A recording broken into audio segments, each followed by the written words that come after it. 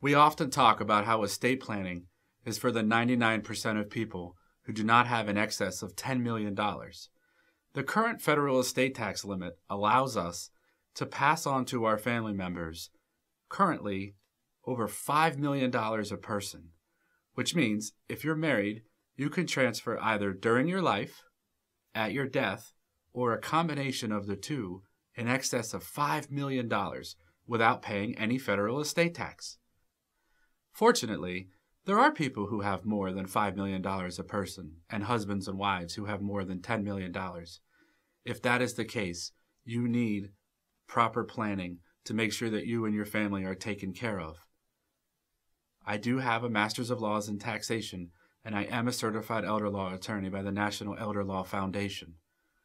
I would love the opportunity to meet with you and your family to make sure that you are protected and that the legacy that you have built and all the hard work that you have made are not for naught, so that we can make sure it goes on to the proper family members and not to the government.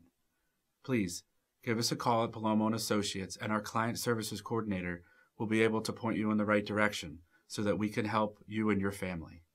Thank you.